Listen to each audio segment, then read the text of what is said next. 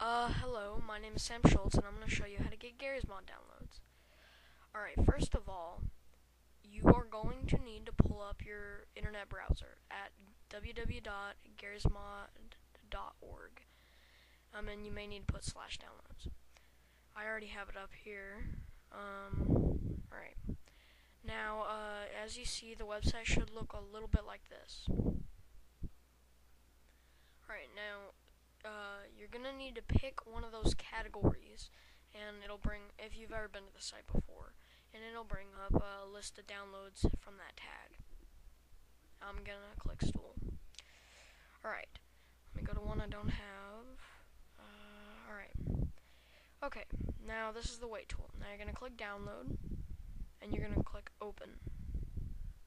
Then you're gonna right click on that.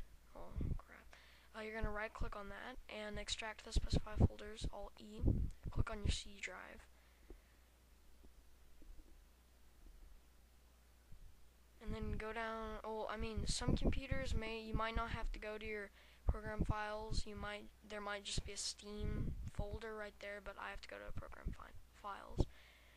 Alright, now I'm going to click down, I'm going to scroll all the way down until I find a Steam file, and go down to my Steam apps, click on my username, and then click on Garry's Mod. And then Garry's Mod again. And then click on add-ons. Well, first I'm going to scroll over, then I'm going to click on add-ons.